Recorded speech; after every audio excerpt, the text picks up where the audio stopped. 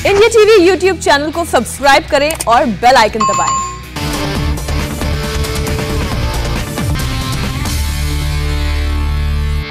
मुख्तार अंसारी को यूपी लाया जा रहा है। इस वक्त यूपी पुलिस का काफिला रास्ते में है और रोपड़ जेल से निकले हुए यूपी पुलिस की टीम को तकरीबन दो घंटे का वक्त बीत चुका है। तो ये रोपड़ टू बांदा की ये सारी तस्वीरें आप लाइव इंडिया टीवी पर देख रहे हैं और अतुल भाटिया हमारे सहयोगी यूपी पुलिस के इस काफिले के साथ साथ ही चल रहे हैं।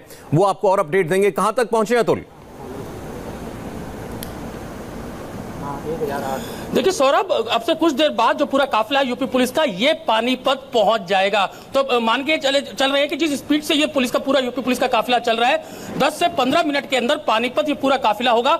उसके बाद सोनीपत करीब आधे से आधे घंटे से लेकर 40 मिनट का रास्ता है। दिल्ली, यहाँ से मैं दिखा रहा हूँ आपको, दिल्ली 111 किलोमीटर है और मुरथल पैंसठ किलोमीटर है। मुरथल जहाँ से केएमपी है वहाँ ये 65 किलोमीटर यहाँ से कुल रह गया है। तो आप मान के चलिए कि करीब 60 मिनट के अंदर, एक से डेढ़ घंटे के अंदर ये पूरा जो काफिला है, वो यूपी के अंदर एंट्री कर जाएगा। केएमपी से ये पूरा पुलिस का काफिला एंट्री करेगा। तो पानीपत लगभग अब ये पूरा काफिला जो है, वो पहुँच चुका है। और अब से ये मान के चलिए कि एक घंटे के अंदर, जो यूपी के अंदर जो पूरा काफिला है, वो एंट्री मार जाएगा। तो तकरीबन अभी भी सौ से 120 की स्पीड से जो पूरा काफिला है पुलिस का वो चल रहा है। और मैं आपको दिखाऊँगा, पूरा जो काफिला आपको आप इसमें लाइव विजुअल मिल रहे हैं। एंबुलेंस आप ठीक सामने देख सकते हैं कि बिल्कुल ठीक सामने एंबुलेंस चल रही है। और आप देखेंगे सौरभ लेफ़्ट साइड पे एक गाड़ी है। एक गाड़ी पीछे है पुलिस की। दो गाड़ियाँ आगे चल रही है और आप पैसेज देखिए किस तरीके से पुलिस ने इस पूरी एंबुलेंस को घेरा हुआ है। लाइव विजुअल हम अपने कैमरे के ज़रिए दिखा रहे हैं। और उसके पीछे आप जिप्सी देख सकते हैं साथ में ये पुलिस की जिप्सी चल रही है। और एंबुलेंस के दोनों तरफ़ तीनों तरफ़ किस तरीके से पुलिस जो सीओ की गाड़ियाँ हैं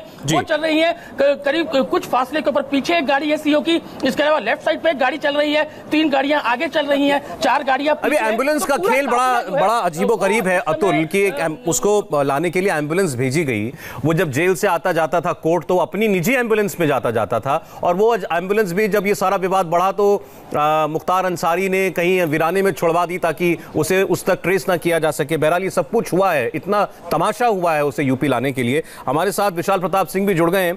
विशाल सुप्रीम कोर्ट को भी ये कहना पड़ा कि पंजाब सरकार छोटी छोटी मेडिकल रीजंस की वजह से मुख्तार अंसारी को यूपी भेजने से रोक नहीं सकती है, जो बीमारियाँ बताई गई हैं, क्योंकि मैं एंबुलेंस का ज़िक्र कर रहा था, इसीलिए जो बीमारियाँ अदालत में मुख्तार अंसारी की तरफ़ से बताई गई उसको हैं। उसमें डायबिटीज़ हाइपर यानी कि बीपी, बैक पेन और स्किन एलर्जी, ये आम बीमारियाँ बताई गई हैं, जिसकी वजह से दो साल से वो यूपी आने से बचता रहा और जानकर हैरानी होगी दर्शकों को 26 वारंट यूपी की अदालत ने निकाले उसे लाने के लिए, लेकिन पंजाब सरकार ने उसे यूपी नहीं जाने दिया। इन मेडिकल रीजन की वजह से। इन पर तो एंबुलेंस लाना भी बनता नहीं है। विशाल।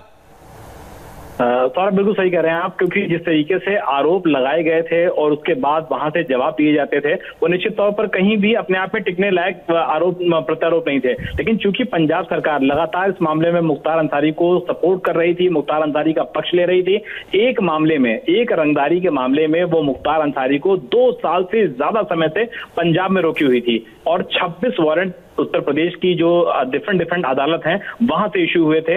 बावन कुल मुकदमे हैं, जिसमें पंद्रह कोर्ट में विचाराधीन है और जितने में, जितने भी मामले हैं सौरभ, सारे के सारे हीनियस क्राइम में आता है। हीनियस क्राइम में उन मामलों को रखा जाता है जो दरअसल बहुत ज़्यादा हीनियस होते हैं, जिसमें हत्या की कोशिश का है, अपहरण का है। तो निश्चित तौर पर ये जो वो हीनियस क्राइम के मामले हैं, क्योंकि आईपीसी में इससे ज़्यादा हीनियस क्राइम के मामले कम से कम क्राइम की जब श्रेणी की अगर बात की जाए तो उसमें नहीं आते हैं। ऐसे में अगर किसी भी एक ऐसे आरोपी को सरकार अपने पास रखे रहे, उसको उत्तर प्रदेश में ना जाने दिया जाए तो अपने आप ऐसा सकता है कि इससे ज़्यादा अपने आप में हादसा कुछ भी नहीं हो सकता है, क्योंकि जब किसी भी दूसरे देश से, जब एक्स्ट्राडिशन ट्रीटी के तहत किसी को भी लाया जाता है देश में, तब भी इतनी ज़्यादा समस्याएँ और दिक्कत और परेशानियों का सामना नहीं करना पड़ता है। वो परेशानियाँ, वो दिक्कतें उत्तर प्रदेश सरकार ने अपने ही देश महसूस की है, क्योंकि पंजाब सरकार जिस अंसारी के लिए खड़ी हुई थी सामने न सिर्फ़ कोर्ट में बल्कि हर एक जगह पर वो साबित करने के लिए काफ़ी था कि मुख्तार अंसारी का जो वो प्रभाव था वो पंजाब में विशाल एक ब्रेक के लिए मुझे रुकना पड़ेगा आपको मैं रोकता हूँ और ब्रेक के बाद हम लौटेंगे और पंजाब यूपी सरकार ने आरोप लगाया कि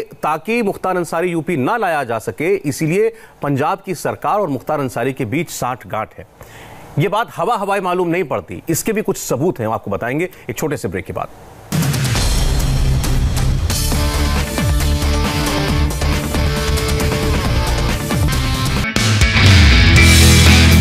नमस्ते मैं हूँ मीनाक्षी जोशी।